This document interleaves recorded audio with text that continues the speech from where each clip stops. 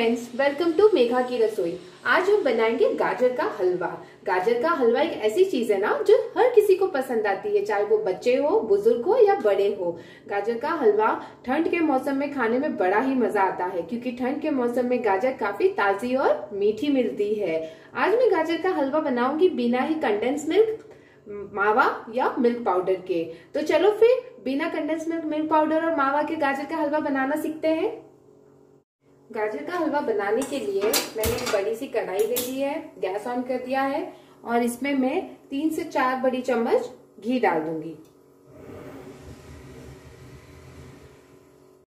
मैंने दो किलो गाजर ली है मैंने गाजर को अच्छे से धो के कद्दूकस कर लिया है। याद रखें गाजर का हलवा बनाने के लिए ऑरेंज वाली गाजर ना ले। पतली पतली, लाल लाल, लंबी लंबी गाजर ले, जो काफ़ी मीठी होती है। और गाजर का हलवा बनाने के लिए हमेशा लाल वाली गाजर का ही इस्तेमाल करें। मेरा घी गर्म हो चुका है। अब मैंने जो दो किलो गाजर को कद्दूकस करके रखा है, मैं कढ़ाई में डाल दूँगी।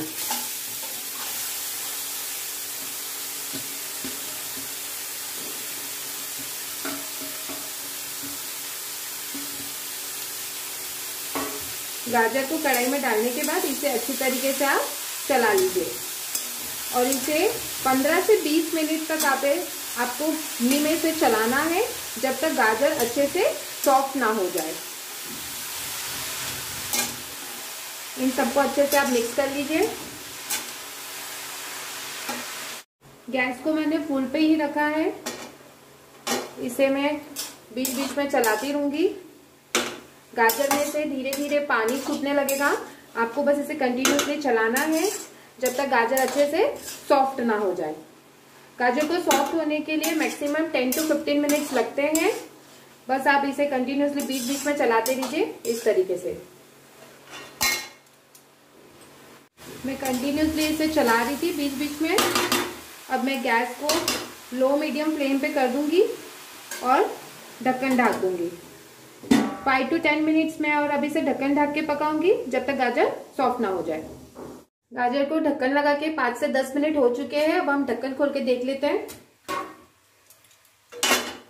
हमारे गाजर सॉफ्ट हो चुके हैं, बस इसे अच्छे से मिला लीजिए।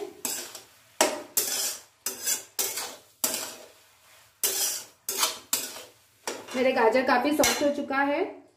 मैंने दो किलो गाजर ली थी, अब हम दो किलो गाजर में दो लीटर ही दूध डालेंगे, क्योंकि हम ना कंडेंस मिल्क यूज़ कर रहे हैं, ना मावा यूज़ कर रहे हैं, ना ही मिल्क पाउडर यूज़ कर रहे हैं। तो हमने दो किलो लाल कलर की गाजर ली थी तो हम इसमें दो लीटर दूध डालेंगे। दूध आपको फुल फैट मिल्क ही लेना है, मलाई वाला ही दूध लेना है इसमें, ताकि हमारा जो गाजर का हलवा है, वो काफ़ी टेस्टी बनेगा।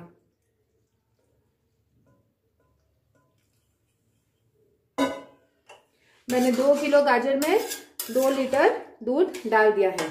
अब इसे फुल गैस रखना है और बॉईल आने तक पकाना है। जब बॉईल आ जाए, उसके बाद हमें पूरा दूध को खत्म होने तक मतलब जो दूध है, वो पूरा भी गायब हो जाए, जल जाए, तब तक हमें इसमें पकाना है। दूध की मलाई ऊपर आने लग गई है। बस अब इसे अच्छे से आप मिक्स कर लीजिए। मलाई वाला दूध होता है मलाई वाला दूध ले लीजिए, या गाय का दूध होता है वो ले सकते हो, या फुल फैट मिल्क जो अच्छा गाढ़ा दूध होता है, मलाई वाला दूध होता है, आप वो ही इसमें डालिएगा ना तो गाजर का हलवा काफ़ी टेस्टी बनेगा, बिल्कुल हलवाई स्टाइल जैसा। बिना, हम बिना मावा डाल के बना रहे हैं, फिर भी काफ़ी टेस्टी बनता है। बस इस, मलाई जब ऊपर आने लगे, तब इसे अच्छे से मिला लीजिए, और इसमें बॉईल आने दीजिए। आप देख सकते हो पूरा दूध ऊपर आ चुका है, पूरे मलाई ऊपर आ चुकी है। इसे बस आप कंटिन्यूसली अच्छे से हिला लीजिए।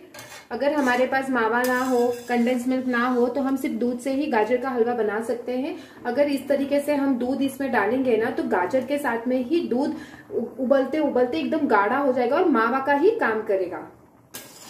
आपको दूध गर्म करके नहीं डालना है इसमें। अगर आप डायरेक्टली गाजर के में ही गाजर गल जाती है, तभी अगर आप इसमें दूध डाल दे, डाल दोगे ना तो आपका दूध भी मावा का ही काम करेगा।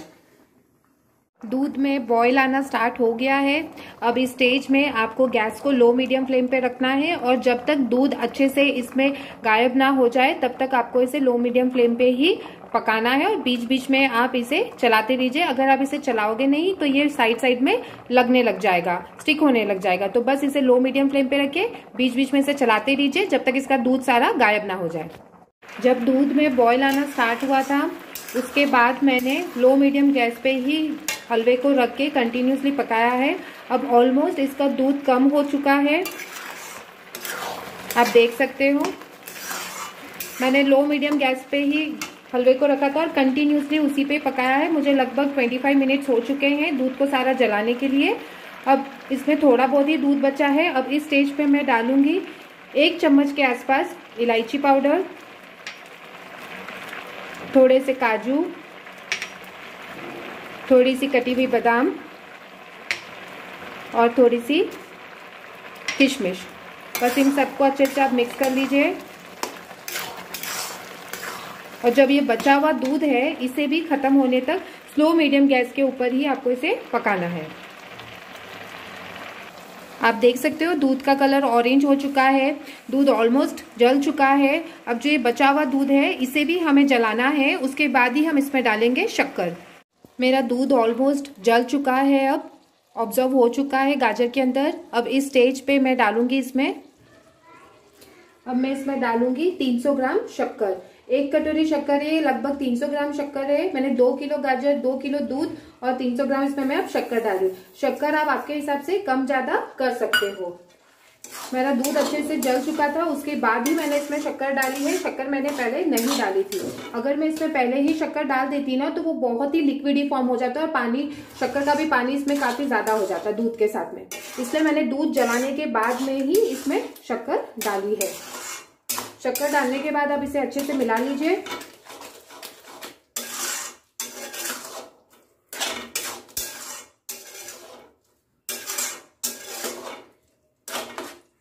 अब शक्कर भी अपना पानी छोड़ेगी इसमें तो शक्कर का पानी भी हमें जलाना है तो उसके लिए भी हमें इसे लो गैस पे रख के टेन मिनट्स तक और पकाना है, जब तक शक्कर का पानी अच्छे से ऑब्जॉर्व ना हो जाए।